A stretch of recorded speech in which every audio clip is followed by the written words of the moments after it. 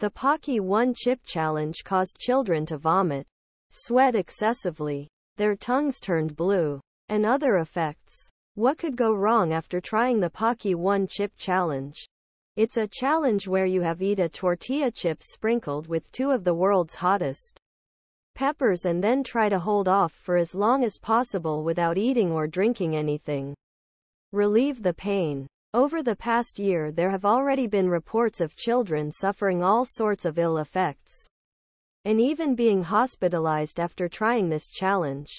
And on September 1st, Harris Wolobah, a 14-year-old sophomore at Doherty Memorial High School in Massachusetts, tragically shortly after participating in that struggle, although it has not yet been clearly established that the one incident led to Wolobah's death. The timing should have you wondering.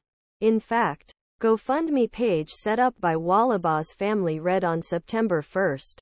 My Aunt Lois' youngest son, Harris, passed away unexpectedly at the age of 14 due to a condition we suspect was complications from single chip challenge. Waiting. Basically. That day, Wolobah visited school's nurse's office complaining that he wasn't feeling well and showed nurse a picture of only thing he had just consumed one of Paqui chips.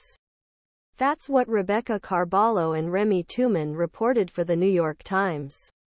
She felt so ill that left school early with her family.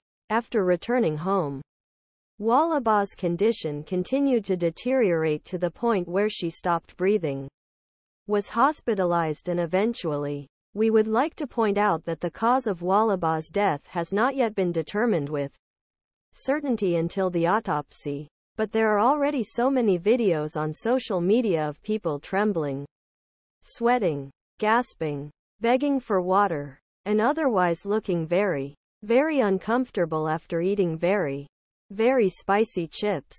The Paqui website asks people to ask how long can you last before you go back. After eating the chip, he wanted them to ask the question and then share their warm comments on social media.